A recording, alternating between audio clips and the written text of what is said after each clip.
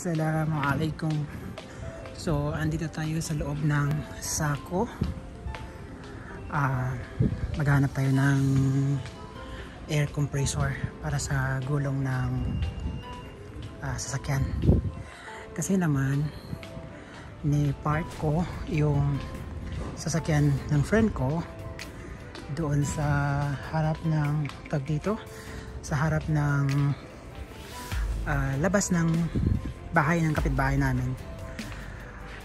At kanina nung I think around 11 napansin ko na ano na flat yung apat na gulong. Subhanallah na flat talaga. As in sinadya talagang i-flat and I think uh, that's the way of saying na hindi pwede mag-park doon. Kaya lang wala naman nakapaskil na bawal mag-park. Yeah. At wala rin nakaharang. Tsaka lagi ako nagpa-park doon pag may nauna doon sa doon sa pinaka-front ng bahay namin. Ngayon lang talaga um, ano nangyari na na flats lahat yung apat na gulong. So andito ako sa sako para maghanap ng air compressor at ang sabi dito daw na section yung mga air compressor wala naman ako mahanap. Let me check in the other area. Dito wala oh baka dito sila. I think it's here. Ah ito sila. It's here. Yeah ito sila. Hanap tayo ng ito. Ayan. Ayan.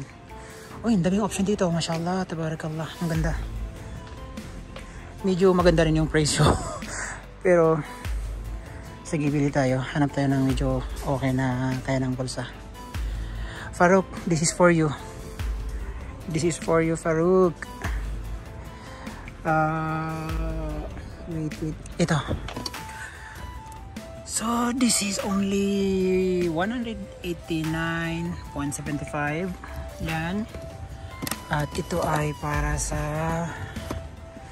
ayan air compressor. Ito Saan yung picture na para sa ano to? Pwede na to. okay, ito. I think I'm gonna get this one. O, ayun. Pwede siya sa ano. Pwede siya sa sasakyan, sa uh, motor, sa bisikleta. Meron din sa, pwede rin gamitin sa bola. So, ito na lang. Alhamdulillah. I'll get this one. So, okay, uuwi na. Pau. Let's go. What? Andiyan na si Faisal? Okay. Punta na sa counter. Ganda ng ano, sadyada. Kaya lang, mahal. 119 per bot isa. Saan ako magbabayad? Dito? Ano po yun?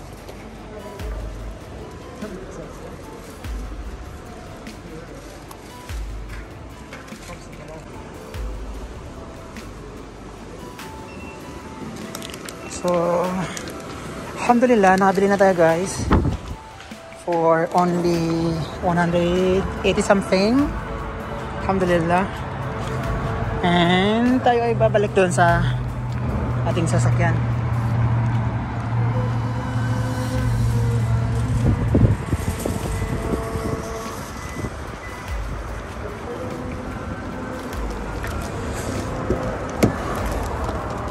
Assalamualaikum.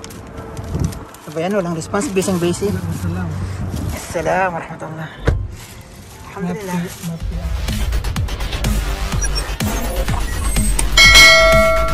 Hello guys. Pakita ko sa inyo yung sinasabi kong na flat na gulong. Ito yun siya. Look. This is the first tire. See? Tingnan mo halos ano. Inikit na doon sa ground.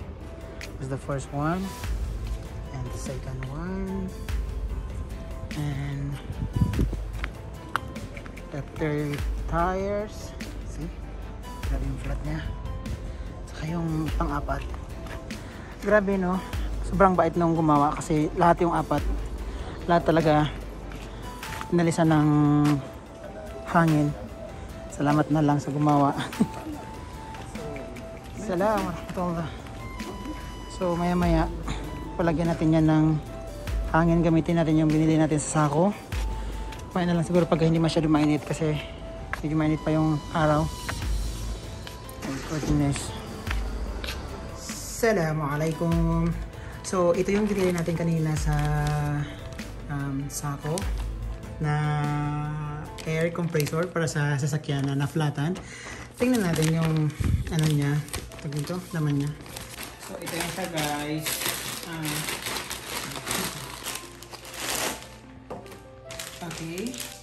Sako. So, ito yung looks niya. Maganda siya. Ah, pwede siya sa sasakyan, sa ah, motor, tapos uh, bisikleta, tapos bola. So, this is what it look like inside. Ayan. Yung manual niya. Ah. ito. Ayun pala yung brand niya. Wagan? Tech? Is that Wagan or Wagan? Or Wagan. Okay. So, parang ganito. Ganyan. Ito yung isasak-sak doon sa ano, ah, sasakyan kung saan naglalagay ng charger minsan. At ito yung sa tire mismo. Yes, ito. So, let's go! Let's try it! Ito, susubukan na natin. Sisimulan natin. Okay. Sisimulan na natin mag-charge o maglagay ng hangin doon sa tires. So, it here. Ah. Okay na? Okay na? So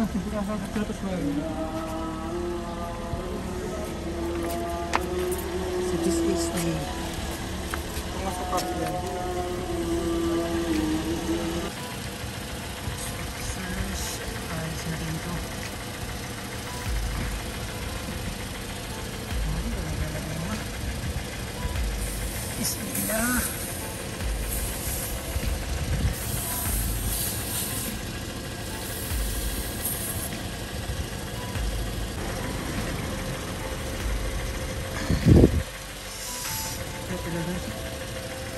Okay.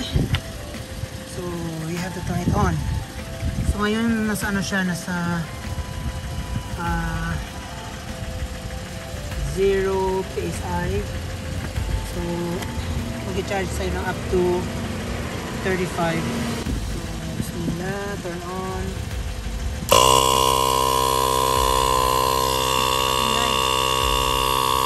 Ang ingay ng machine.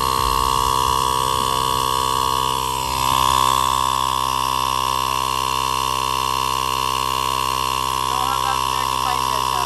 35 PSI.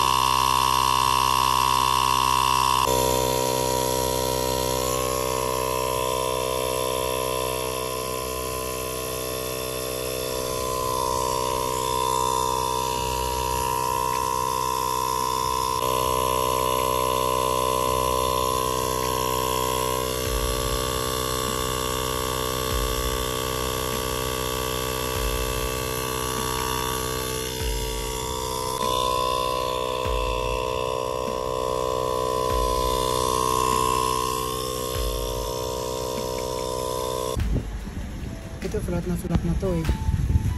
Halos ano, dumikit na sa simento yung ring niya.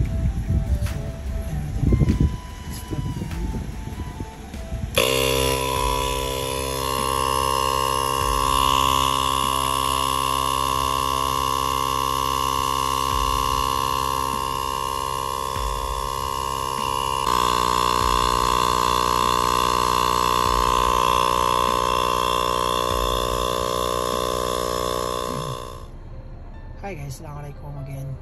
So, alhamdulillah, nalagyan ko na ng hangin yung apat na gulong. Ah, maganda yung ano, yung napili, na nabili ko na air compressor. Um, I'll show you. This one, maganda siya. Um, maganda siya kasi mabilis. So, ah, itong ano kasi itong klase ng ah, car na to, this is Toyota Corolla nag-search ako kung ilan yung PSI niya. Dapat nasa 32 to 35 so uh, from 0 to 35 uh, PSI I think it's only about uh, 3 to 5 minutes. Tapos tapos na. Ang bilis niya ang bilis. Maganda siya. A much recommended one. Kwento ko lang uh, by the way before anything else sobrang dumi ng ano ng glass ng sakyan na to. Kasi last weekend uh, grabe yung sunstorm so hindi ko pa siya napapaliguan. Na car wash it's a last one so yun nga ikwento ko kasi actually uh, dito, dito dito yung tirahan namin. This our main gate. Tapos uh, dito ako dapat magpa-park kung saan ako nakapark ngayon kaya lang the time na magpa-park ako dito nung time nung araw na yon may naka-park dito. Dapat kami yung mag-park lang dito kasi ano na kami ang naglagay ng ano na yan ng signage na yan na no parking. Kami ang naglagay niyan para at least uh, alam ng mga tao na mayroon talagang nagpa-park dito. So yun nga hindi ako nakapag-park dito kasi may sasakyan na nakapark dito that time. So doon ako nag-park dyan na side. Yung open space na yan dyan ako kanina nakapark. So may nakatira dyan sa apartment na yan. So nung nag-park ako dyan yun nga uh, this morning nakita ko na ano na flat itong sasakyan na to. So alam ko na may gumawa talaga dahil yung apat na gulong talaga ang na flat so kanina nung nag ano naglalagay ako ng hangin nakikita ako nung tatlong lalaki na I, I believe nakatira sa bahay na to. Pinuntahan nila ako tapos yung tinanong nila sabi nila sa ibang car na yan sabi ko oo uh, sabi niya bakit ka nag-park dito na ano? Alam mo naman may tao sa bahay na to So, alam mo naman, pag may tao sa bahay na yan, so dapat sila yung may rights na mag-park dito sa tapat nila kasi tapat nila eh. Kung dito ka nakatira, okay lang sabihin niya, eh, hindi ka naman nakatira dito, saan ka ba nakatira? So, tinuro, tinuro ko itong bahay namin, sabi ko ito lang sa, sa, ano lang, sa kabila lang, sa tapat niyo lang. Sabi niya, eh, dyan ka magpa-park sa ano, sa harap niyo, wag dito sa harap namin kasi kumbaga sa kanila daw yan na area or parking space. So, nagsorry ako kasi siyempre, uh, kumbaga, yun nga, trespassing ako. Although, I think, uh, hindi naman dapat, dapat to sabihin na amin to kasi kalsada to eh. Sa government to eh. Government to eh. Pero yun nga sinasabi nila na sa kanila daw yan kasi nga tapat daw ng bahay nila. Tapos uh, may pinakita pa sila sa akin na app. Itong app na to um, itong app na to ay pwede ka magsumbong dito kung uh, yun nga kung for example may nagpark daw sa parking space mo. So pwede mong isumbong sa police at yun uh, magsisend ka lang ng picture ng car showing the uh, plate number. Tapos hindi eh, ko alam kung ano uh, I'm sure may violation yun. Uh, kasi first time ko to narinig eh. So since ang car na to hindi naman sa akin to sa kaibigan ko to sa best friend ko na nasa bakasyon ngayon iniwan niya to sa akin actually. So kung may violation to siya yung makaka-receive ng message. Hindi ko pa siya natatanong kung may na-receive na ba siya na notification from uh, I believe Moror ganyan So, pinakita nila sa akin, sabi niya, sorry kasi uh, inireklamo ka namin kasi ba't ka nag-park dito. Nung nag-park ka dito, wala kami mapag-parkan, sabi nila. So, we have to find another place. So, may, yung nahanap namin na place kung saan kami nag-park, napagalitan din kami sabi niya kasi mayroon din nagmamayari nun. So napagalitan kami ng dahil sa'yo na nag-park ka dito sa parking space namin.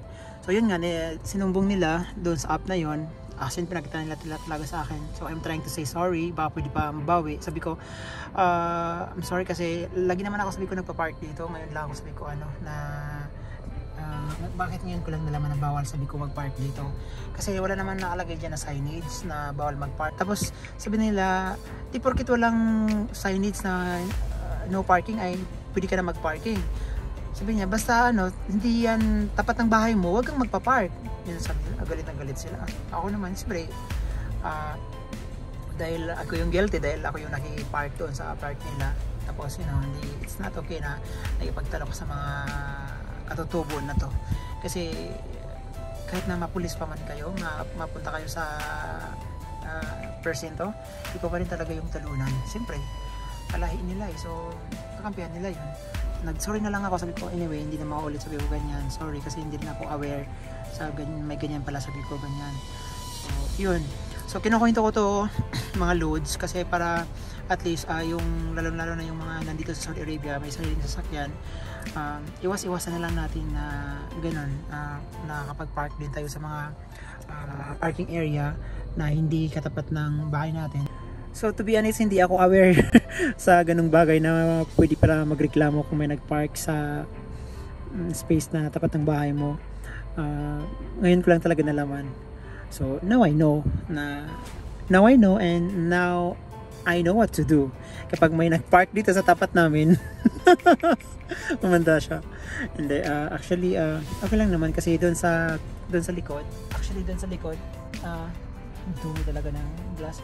Doon sa likod may masjid dyan na may malawak na malawak na space sa labas. And uh, anyone can park there. Pwede naman ako mag-park doon.